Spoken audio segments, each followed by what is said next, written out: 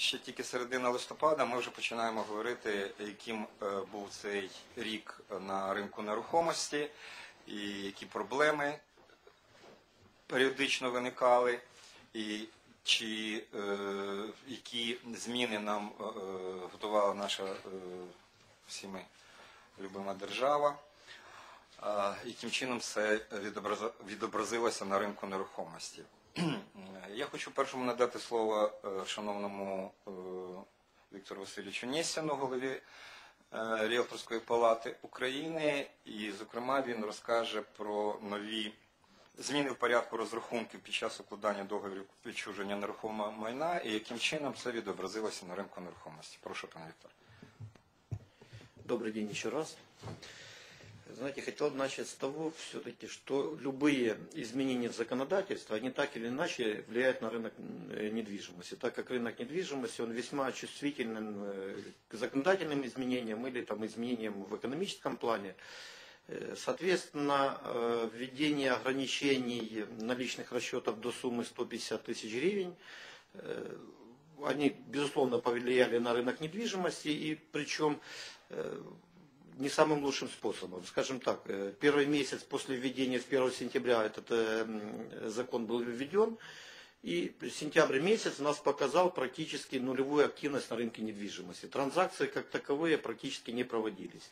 С одной стороны, не знали, как себя вести нотариусы, с другой стороны, не подготовлена была сама банковская система для именно внедрения этих новшеств.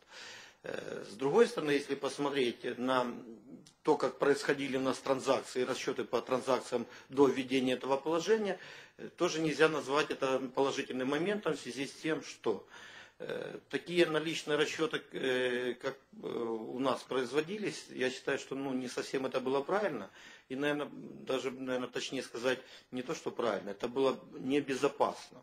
Когда у нас, ну, будем говорить в долларовом эквиваленте, чтобы было понятнее, когда у нас стоимость квартиры, там, скажем так, в среднем по городу Киеву 100 тысяч долларов и выше, и когда у нас граждане перевозили эти деньги в кейсах, ну, не совсем, наверное, это было правильно. Мы когда общаемся с нашими зарубежными коллегами, они вообще не понимают, как такое может происходить в стране, когда происходят такие наличные расчеты. А если мы будем говорить о большой дорогой недвижимости, когда э, стоимость там где-то превышает полмиллиона долларов, и опять же происходили наличные расчеты при таких стоимостях, когда э, денежные средства перевозили автомобилями, ну, наверное, не совсем было это правильно.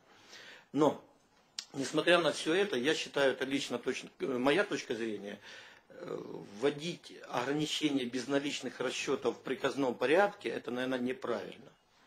Нельзя говорить, вот давайте с первого числа э, запрещено рассчитываться наличными средствами. Я считаю, что в первую очередь это должно было происходить следующим образом.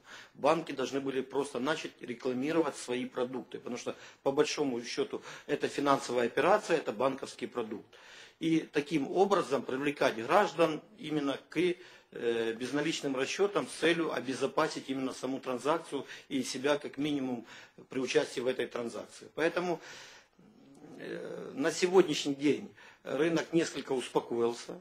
Имеется в виду то, что э, наконец-то и банки, и нотариусы, и граждане, и риэлторы начинают понимать, как все-таки проводить эту транзакцию. Потому что, опять же, повторяюсь, до этого это не совсем было понятно, как это вырисовывалась схема. Поэтому я думаю, что в принципе ничего страшного нету в том, что ввели ограничения. Ну, тем не менее, я думаю, что еще, наверное, месяц, а то, может быть, немножко больше понадобится банковской самой системе привести в порядок и понимать, на чем они и как будут зарабатывать. Потому что в любом случае э, это э, продукт для банков и заработок, в первую очередь, для банков. Ну, наверное, вот в двух словах. Дякую. Е, Я думаю, е, що найголовніший вивод, який е, треба було б зробити, що е, всі ці речі е, в цивілізованих країнах працюють, е, І Україна е, в цьому відношенні звичайно пасла задніх, і те, що відбулося, воно мало відбутися рано чи пізно. Тому е, я думаю, що е, найближчим часом е, все це е, відшліфуються, ці механізми, вони вже практично готові і суттєво впливати на ситуацію на ринку нерухомості не будуть.